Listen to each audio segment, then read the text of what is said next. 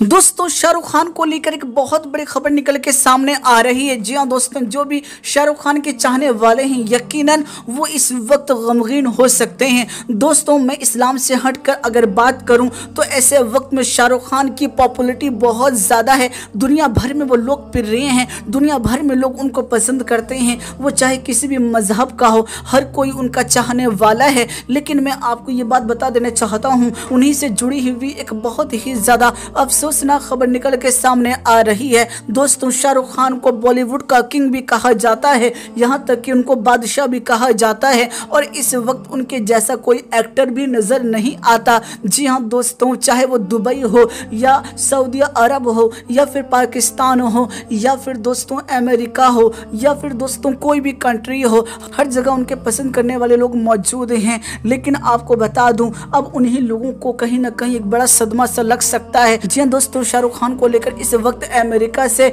बहुत बुरी खबर सामने आ रही है। यानी दोस्तों, शाहरुख खान का एक बहुत बड़ा एक्सीडेंट हो चुका है। वो अपनी एक फ़िल्म की शूटिंग के लिए इस वक्त अमेरिका पहुँचे हुए थे, लेकिन तभी अचानक उनको बहुत तगड़ी चोट आई है, जिसकी वजह से उनको फ़ौरन ही हॉस्पिटल के अंदर एडमिट भी करना पड़ा है। आपको बता दूँ, हर न्यूज़ चैनल के ऊपर इस वक्त शाहरुख खान के बारे में ही बातें हो रही हैं, क्योंकि दोस्तों, शाहरुख खान के चाहने वाले सिर्फ़ इंडिया में ही नहीं, पूरी दुनिया में पाए जाते हैं। ऐसे में इस वक्त ये एक बहुत बड़ी खबर है। दोस्तों, शाहरुख खान को इस वक्त बड़ी चोट आई है और इसी चीज़ को देखते हुए फ़ौरन ही उनको अमेरिका से हमारे भारत देश इंडिया शिफ्ट कर दिया गया है और इस वक्त वो मुंबई के अंदर मौजूद हैं। उनका इलाज चल रहा है। दोस्तों, जो भी शाहरुख खान के चाहने वाले हैं, कहीं ना कहीं वो इस खबर को सुनने के बाद बहुत ही ज़्यादा गमगीन हो सकते हैं। ये बात सच है कि शाहरुख खान, अगर बात की जाए इस्लाम से हटकर तो कहीं ना कहीं एक बड़े ही हम्बल पर्सन है, सीधे सादे इंसान हैं।